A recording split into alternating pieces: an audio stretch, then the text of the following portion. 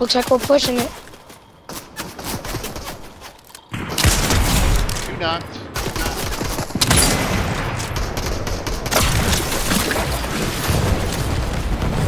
Everybody down.